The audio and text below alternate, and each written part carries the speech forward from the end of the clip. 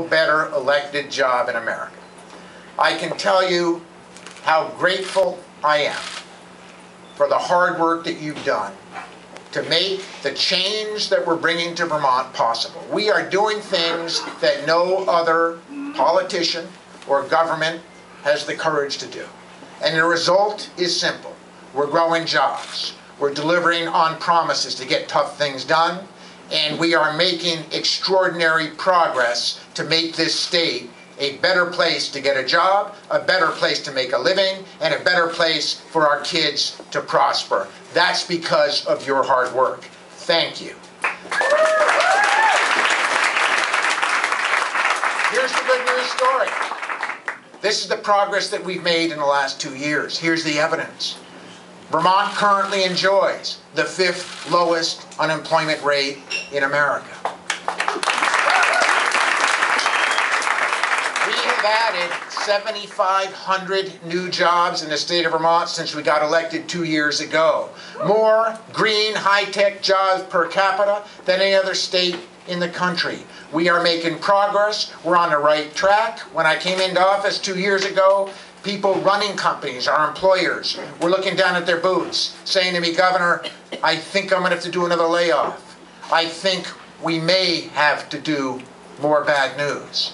Today, the employers tell me, Governor, I can't find enough employees who are trained to do the work for the jobs I have available. That's a much easier problem to solve, and we're solving it together. That's progress, that's jobs, that's prosperity, that's results. I want to mention five reasons why we've made the progress we have, why we've made the tough decisions to get things done that we've been able to accomplish, and why I am begging Vermonters for another two years to finish the work that we've begun. First of all, we have matched Montpelier's appetite for spending with Vermonters' ability to pay. Together, we managed and balanced two more difficult budgets, deficit budgets, without raising broad-based taxes on hardworking Vermonters when they were having trouble enough paying their bills. That's progress, that's important.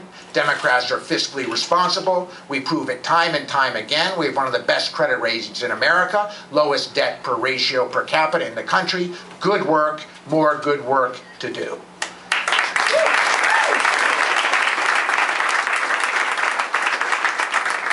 We also promised that we would get tough things done to grow jobs and economic opportunities. I want to give you a progress report on connectivity.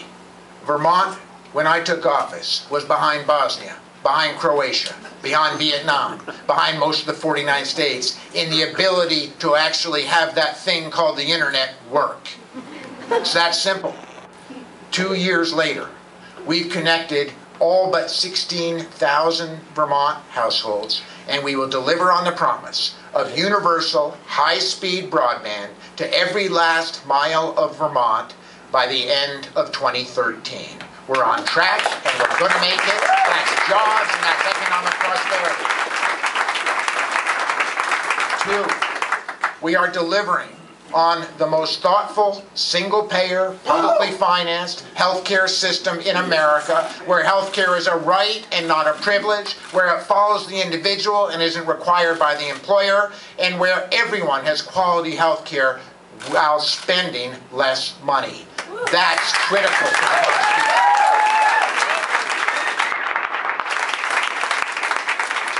Third, we cannot win on a jobs front unless Vermont is the best education state in the nation. So what did we do? First week in office, lifted the cap on early child education so yeah. that every kid in Vermont has access to a great start in education by accessing the best early education programs in the nation, bar none. That's making a difference. Child education, to higher education, to workforce retraining, to making both our state colleges and UVM more affordable. We are making great progress. We have more work to do.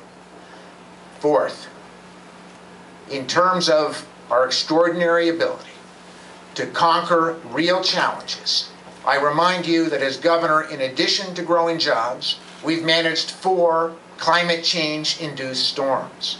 The blizzards of a year ago, February, biggest blizzard ever recorded in a snow state. Biggest blizzard for Vermont ever recorded. Two, the floods of April, the floods of May, the floods of August when Irene hit. Highest lake levels ever recorded on Lake Champlain. The great thing about Vermonters is we recognize the source of the problem and we come together to solve that problem. What did we do?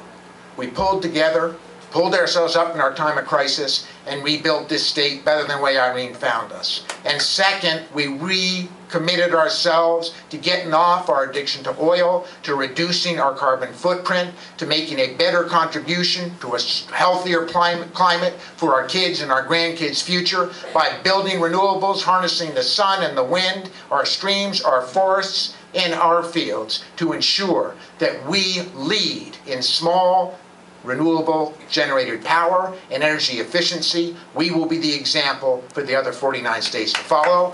We'll get the jobs, we'll get the economic opportunity.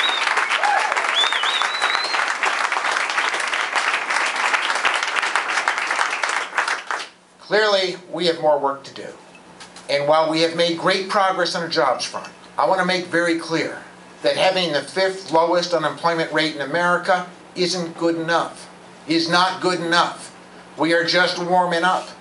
Our challenge remains that we have too many Vermonters who are often making the choice, tough choices, because their incomes haven't risen in a decade and they're working one, two, three, four, or five jobs to make ends meet.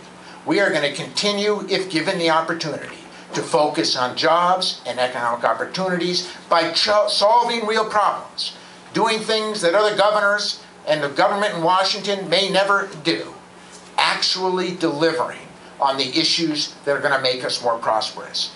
I want to talk about health care for a minute. Listen, we all know as Vermonters, with our hearts, that we have 45,000 uninsured Vermonters. Vermonters who wake up every day knowing that if they get sick, they're in huge financial trouble knowing that if they avoid preventative care, if they avoid preventative care, they won't have to face the fact that they can't pay the bill and therefore wait until they have catastrophic care before they get the health care they deserve. Second problem, we know that we have 160,000 underinsured Vermonters. Vermonters who, if they really get sick, know that the gap between their insurance coverage which is growing in double digit numbers, will not help them out and they will face bankruptcy to pay their medical bills. As Vermonters who care about each other and take care of each other, we know that healthcare is a basic right. It brings dignity to each and every one of us. It brings hope and a great future to each and every one of us. That's not acceptable. Let's be the leader in turning that system back and moving to a system that the rest of the world enjoys where health care is a right and not a privilege.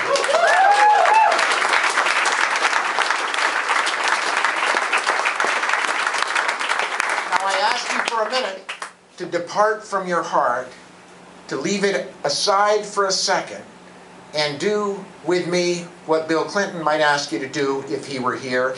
Let's do some simple arithmetic. Because as you know, I am a business person. I am a governor who governs mostly because of arithmetic. Let's do the simple math on health care. We acknowledge that we are a state who, on average, we are earning the same money we we're making a decade ago. This is how the math works. If healthcare costs continue to rise between now and 2015, three years, the next three years, at the same rate that they did for the last 10 years, Vermonters will be spending $2,500 every single year by 2015 on health care that we're not spending today. Here's a second mathematical fact.